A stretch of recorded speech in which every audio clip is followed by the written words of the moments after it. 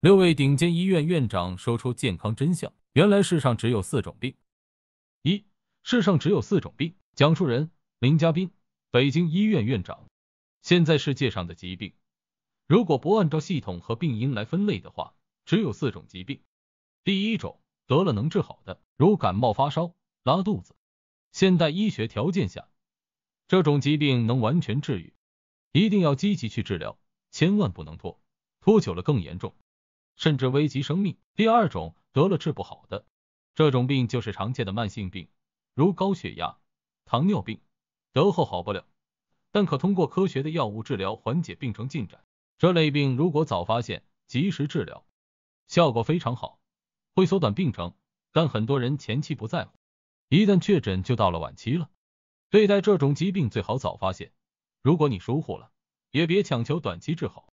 配合医生坚持服药是最佳选择。第三种，人老导致的，随着年龄增大，身体逐渐衰老，会出现诸如骨关节退化、记忆力减退、白内障等退行性疾病。白内障可以换晶体，但换后视力肯定不如原来的好。而对于骨关节炎和记忆力减退，通过治疗或服药，都可在一定程度上改善症状。重要的是，一定要服老。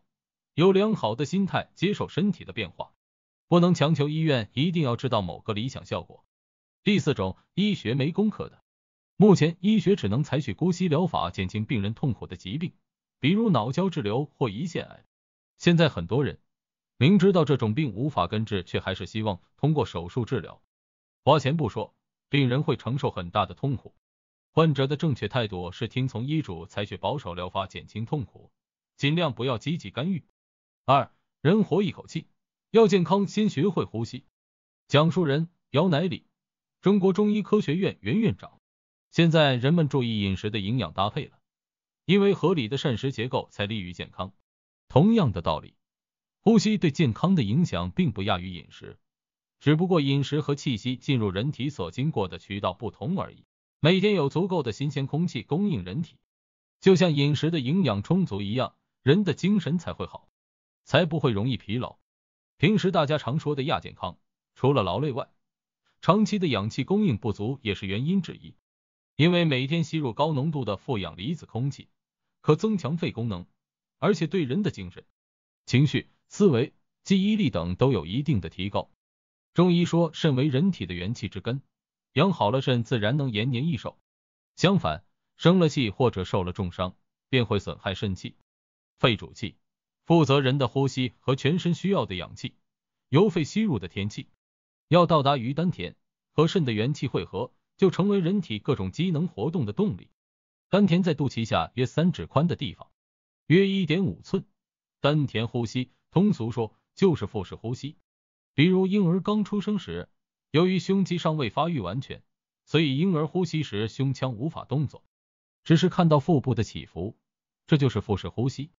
把新鲜的空气通过深呼吸吸入丹田，就是小腹部，然后再吐出，像小狗在喘气。只有丹田的部位在动，感觉丹田肌肉随着呼吸在收缩，全身的其他部位是放松的。这个动作可强化腹肌的力量。只要时间地点允许，可以多多练习这个动作。练丹田气最好选择空气流通、新鲜的环境，进行深度呼吸。这样有利于吸收空气中的负氧离子，为五脏六腑提供充足的能量。三药补不如食补，食补不如神补。讲述人王耀宪，北京中医药大学东直门医院院长。我是中医大夫，很多人都会很自然的问我有没有什么养生保健秘方，这个我还真有。其实很简单，普通人都能很好的掌握。调精神、节饮食、慎起居、是运动。我虽然从医半辈子了，毕竟也是凡人一个，也会生病的。这不，近期就被查出来患上高同型半胱氨酸血症。大家要是有兴趣查查资料，就会知道，这类人容易患上中风及心血管疾病。我没有用药，而是每天都坚持多吃水果蔬菜，用食疗的方法来对抗高半胱氨酸血症。中医历来讲究药补不如食补，食补不如神补。记住一点。睡好子午觉比吃再多补品都要好。我看的很多血糖高、血压高病人与生活不规律、好熬夜有关。入夜的时候，人体分泌的升血糖、升血压的激素开始降低，这就是为什么能让大家安静的进入睡眠。如果长期不正常睡眠，升血糖、升血压的因素占优势，代谢紊乱，心脑血管病就来了。另外，平时保证吃饭定时定量，作息规律，适当运动就可以了。很多朋友都问，还有没有别的注意事项？其实养生就是顺应自然，不需太多拘束。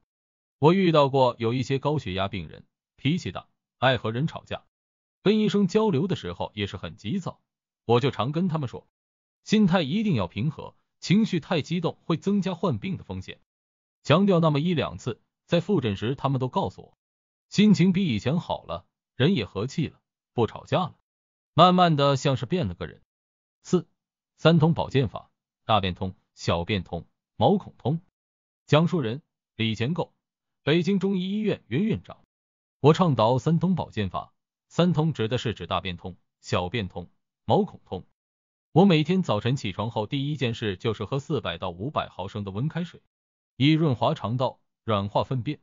三花保健茶也是个秘密武器，用玫瑰花一克、杭菊花两克、三七花三克，加上龙井茶四克，用开水泡，少量频服。此茶具有清肝降压、活血降脂。疏肝解郁、利尿醒神的作用，特别适合老年人。如何衡量喝水够不够？就是看小便的颜色，小便黄色表明喝水不够，小便颜色清亮透明表明喝水喝够了。最好不吃油炸、煎烤等容易上火的食品。保持毛孔通畅就要多出汗，出汗可以通经活络，疏通血脉，可以清洗汗毛孔，排出体内有毒物质及废物。我国自古就有出汗养生治病的习惯。如冬天受寒感冒时喝姜汤，盖被子治感冒；喝热粥出汗，运动发汗，热水烫脚发汗等。平时也可喝点热粥，泡泡脚，通过汗毛孔出汗来个大清洗，及时把人体代谢的废物、毒素、垃圾等有害物质驱逐出境，身体倍儿棒。五防癌做好三个一，五防癌做好三个一。讲述人郭小猫，复旦大学附属肿瘤医院院长。一份健康计划，在这份计划中应包括不同季节所从事的运动项目、身体各项指标预期达到的水平、日常生活中注意事项等。一次健康体检，三十五岁以上的人应每年做一次体检，以便及时掌握自己的身体状况，尽早发现一些不易察觉的早期疾病，比如早期肿瘤等。一次定期休假，年轻时用身体赚钱，年老时拿钱换身体。避免以上情况发生，就要懂得养生，也就是调整自我，养成良好的生活习惯。建议大家每年定期休假，让工作和生活有张有弛，有效缓解压力。六要养胃，偷偷倒掉剩饭。六要养胃，偷偷倒掉剩饭。讲述人刘玉村，北京大学第一医院院长。要养胃，最好别吃剩菜剩饭，因为这些东西容易变质，吃了会伤胃。老人总喜欢把剩饭放冰箱，实际上细菌在冰箱里照样生长，只是长得相对慢一点。我岳母老把剩饭藏起来，老人心疼啊，说不能倒啊。我和媳妇儿就只能悄悄倒掉，然后我媳妇就跟老人说，我们把它吃掉了。老太太还觉得挺高兴。生活中不抽烟，不喝酒，别吃刺激性食物，别吃腌制食品，就能远离胃病的侵扰。前些年东北胃癌发生率为什么高？就跟那里冬天新鲜蔬菜少，大家吃腌制食品多有关。吸烟不仅会伤肺，也会导致胃炎，因为肺里头有丰富的血液循环，能作用到各个脏器。胃的黏膜也有血液的供应，烟中的尼古丁也会到胃里来，对胃有很大伤害。胃炎、胃溃疡也会发展成胃癌，三者疼起来没有什么明显区别，但如果原来疼的不是很厉害。这一段突然很疼了，再或者以前是早上疼，现在是晚上也疼，这些可能都是胃癌的先兆，要早一点做胃镜检查。四十岁以上有胃炎、有上消化道症状的人，一年要做一次胃镜，以便及早发现胃癌。资料来源：健康时报。感谢观看，您的体会是什么？六位院长讲的，您做到多少？请在视频下方评论区留言。谢谢您的订阅。点赞与分享转发。